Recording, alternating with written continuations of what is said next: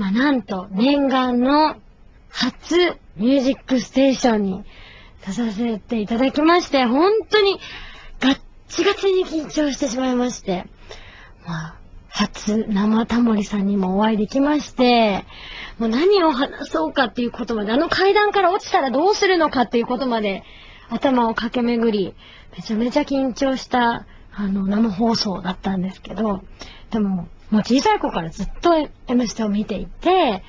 まあ、いつか自分も出たいなってこう夢に見ていたので、嬉しかったですね。やっぱりね。でね、多分その、M ステを見て、初めて、ミアナイトね、聞きに来てくれた人もいると思うので、まあ一つ、まあ、あれかなと思うんですけど、まあ私、あの、このミアナイトでは、あの、ちょっと M ステのミューと違うかなと。おーほほほほほほっていう、あの、いつもこういうキャラでやってるんで、ちょっと、ギャップ萌え的な、あの、ちょっとびっくりすると思うんですけど、まあ、ラジオはラジオで、違う私を楽しんでもらえたらいいなーみたいなそういうミアナイトなんで、今夜は一緒にはっちゃけながら、こんな時間ですが眠くならないようにね、楽しい時間を一緒に過ごしてもらえたらいいなと思います。で、その M ステでね、まあ、めっちゃ緊張してたわけですよ。で、まあ、とりあえず、リハーサルが終わりまして、リハーサルのビデオをね、チェックしたんですよ、楽屋で。そしたらもう、スタッフの方にね、いや、あんた顔が2種類しかなかったよって言われまくって、あの、それ表情が硬すぎて2種類しかなかったっていうのとか、あとスタイリストさんには、みやちゃんずっと悲しそうな顔で歌ってたって言われて、あの別に悲しそうな顔してるんじゃないんだけど、まあ、表情はないっていうね、こといろいろ怒られて、そっかーって言って、まあランスルーもガッチガチだったんだけど、まあ本番ではなるべくね、こう、笑顔で行こうかなって頑張ったんだけど、でも幸いなことにね、ま Superflyさんとか、 KinKi Kidsさんとは以前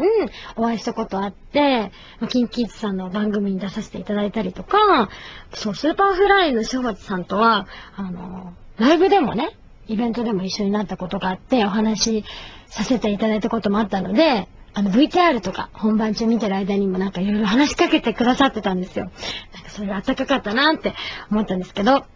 で、本番とね、その、